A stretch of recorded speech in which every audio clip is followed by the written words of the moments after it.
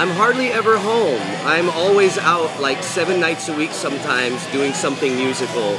It's really my life, and whether I'm performing or whether I'm out hosting something, I don't have time to watch my favorite shows at home, my favorite TV shows. Tonight, I'm at the Irish Rose Saloon on Ena Road in Waikiki with my friends, the Jesse Valor Band. You can see them kind of milling about in the background, and uh, they're going to be playing Star 1019's Made in Hawaii here in a few minutes. You can kind of see the stage over there a little bit.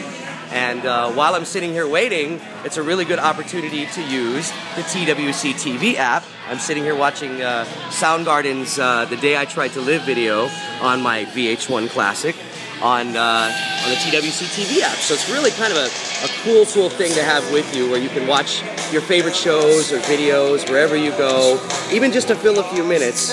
Oceanic, Time Warner Cable, TWC TV app, there when you need it with your favorite shows, your favorite videos, all that kind of thing.